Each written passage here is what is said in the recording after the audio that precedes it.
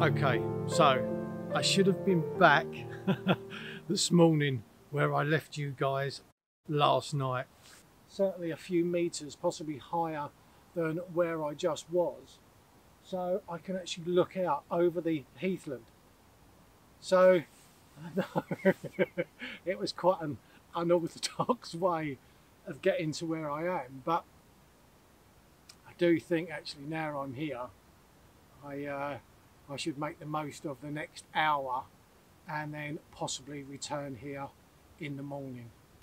But driving into Norfolk this morning, oh, the mist was just rolling across the fields, and I just thought I need to get to a higher elevation where I can look down on this beautiful sunrise and capture some of the mist and then try and pick out some of these lone trees as well. And um, this morning I am I'm I'm really pleased. I'm a bit hesitant because I kind of really want to focus on the wildlife, but at the same breath, you know, landscape photography is in my blood, and uh, I just think this morning that shot just worked so well. Well, just look at that behind me. Within seconds of me doing that last piece to camera, the cloud rolled across and that amazing light show that I got this morning is now over. That's how fast it can happen. It just went from this burning sky almost to someone just pulling the cord on the light and it's now all over. Right, well I'm so pleased that I, I did get that shot this morning. So what I need to do now is make my way further into the heathland.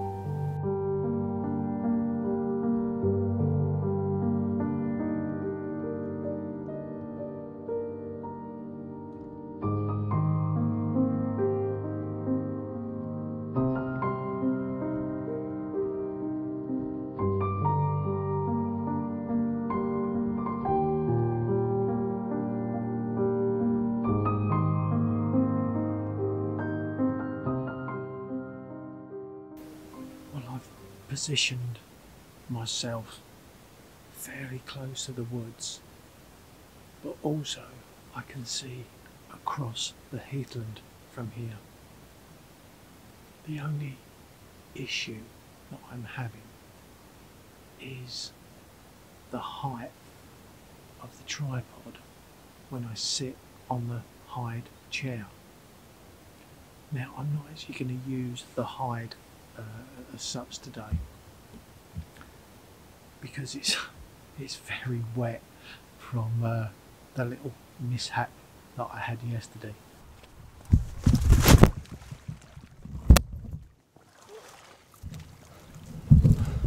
I fell in.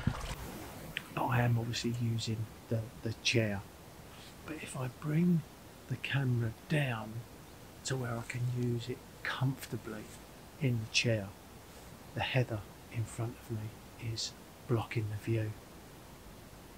So I've got the camera set up to a height that I can look across this heathland here.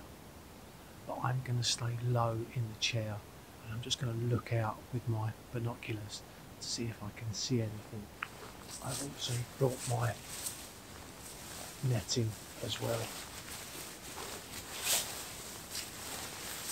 Which I've draped over the back of the chair. So I do have a little bit of camouflage. And um, I've also got a, a balaclava with me, which I think I'll put on shortly as well, especially as the midges are starting to bite now. It's still it's still quite dark here. And I've got my camera set up to just an arbitrary setting at the moment which is 1 over 200 but that is giving me an ISO of 2500 and that is on 6.3 on that particular lens which is the lowest or the widest it will go um, at a 600 mm focal length. So it would be nice just to get a little bit more light before hopefully I see a deer because I really don't want to increase that ISO beyond 2500 if I can really help it. The maximum I'll push it is 5000 but I have to do a lot of work with the images to get it to look reasonably sharp at 5000. You know, when you just get um, a feeling that you're even comfortable with a position and you're happy to wait, and then you're uncomfortable with a position, well, I'm the latter. There's a, a mound in front of me that's covered in heather. And I think if a, a deer was to stand on top of that mound, oh, that would make a fantastic shot. Really would. But the chances of a deer just walking out of the woods and onto that mound is so so slim. And I keep thinking, shall I move? But it's about an hour now after sunrise. And I do think if I go traipsing through the woods, through the path, there could be a chance that I could scare something away. Such a hard call. Um, I'm actually up against time today. I must leave here in probably about two hours, two and a half hours. Um, so I have to make a decision soon on what I want to do. Because if I leave it much longer, then I'll end up staying where I am. Possibly give this another half an hour if I've not seen anything, even other forms of, of wildlife, um, then I think I might just take my chances and move further down. I don't want to rush it I don't mind being somewhere half a day. It doesn't bother me.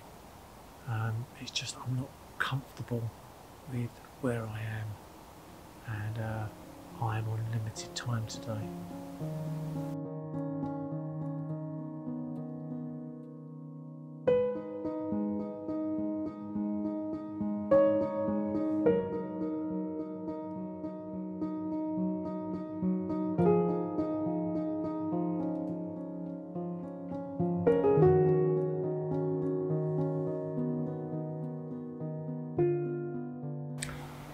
So pleased. I decided to leave where I was and make my way further down into the woods.